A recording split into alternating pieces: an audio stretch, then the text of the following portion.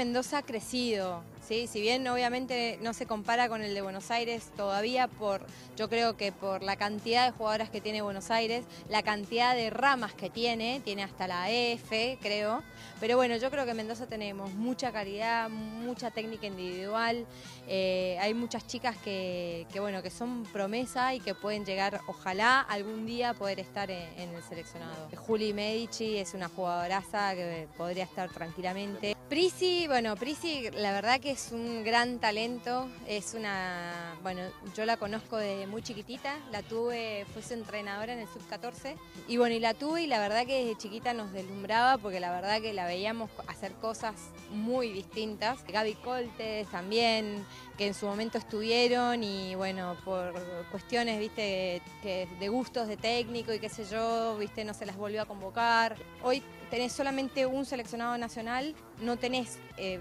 A y B, por decirlo así, llamarlo, ¿no? Que es un grupo que sea proyección, en el cual eh, son jugadoras que tal vez no están como para estar en el, en el A, pero sí sí las tenés como para un proyecto, para un futuro.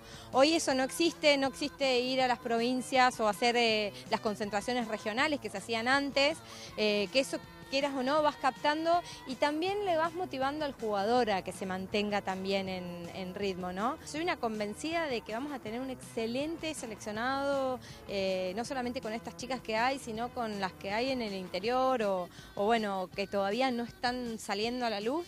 Eh, pero bueno, que hay futuro, hay futuro. Hay que trabajar, nada más.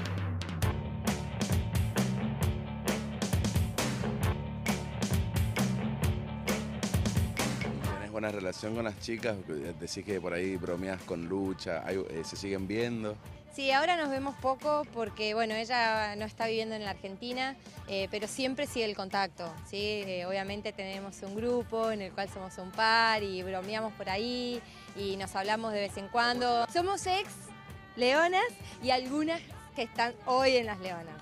Pero bueno, el grupo no importa. El deporte sigue muy fuerte en mi vida. Eh, pero bueno, ahora ha tomado como un rol más secundario porque lo tomo como, eh, no como un trabajo, como fue mucho tiempo de mi vida, sino como más un hobby. Yo tengo la quinta división de River eh, y bueno, y, con Nico de la Torre, que es el entrenador, estamos los dos, viste, pensando a ver qué podemos hacer para cambiar un poco y que las chicas crezcan. Eh, nada, creo que es algo que llevamos en la sangre, lo viví mucho tiempo con mucho, mucha pasión y hoy no puedo hacer un corte.